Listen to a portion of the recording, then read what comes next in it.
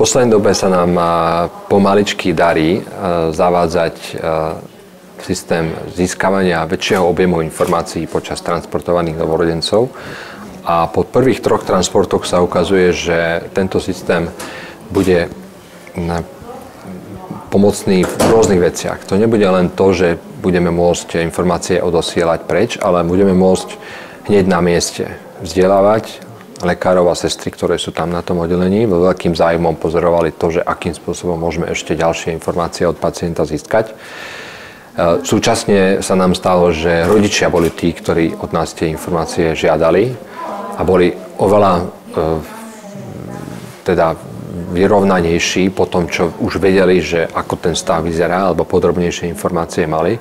Čiže samotné e, spracovanie tých údajov a následné rozposielanie nám ukazuje ďalšie možnosti. Ja si napríklad budem môcť, ak ten systém už bude fungovať a určíme si určitých konziliárnych lekárov, budem si môcť určiť, že podľa danej diagnózy alebo vrodenej chyby môže dostať informáciu o tom, že takýto pacient sa bude prijímať za dve hodiny na oddelenie práve ten špecialista, ktorý to dieťa bude vyšetrovať ďalší deň, aby už u tomto dieťati vopred vedel.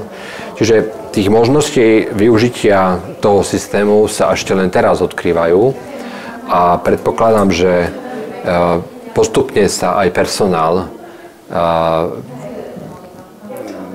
žije s touto myšlienkou a bude to považovať ako za e, vec štandardnú a viem, viem si predstaviť, že o 5 rokov, keď náhodou tento systém vypadne, tak sa mi už ľudia budú stiažovať, že zrazu to odo mňa budú žiadať, že a nejde toto, nejde tamto. Takže e, Všetkým v minulosti bolo tak, že najprv sme to museli nejakým spôsobom spustiť, začať robiť a postupne sa vlastne našli ľudia, ktorí zistili tie pozitíva a zistili ten prínos tej novej metodiky. E, Myslím si, že určite e,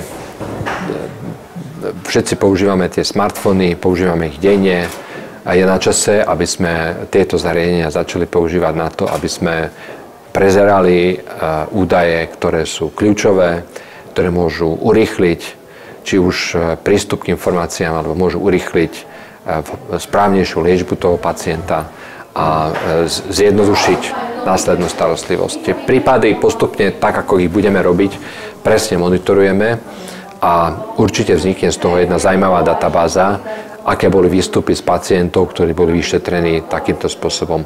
Takže ja sa nebojím, že by vlastne tento projekt nemal e, nejaké využitie v budúcnosti.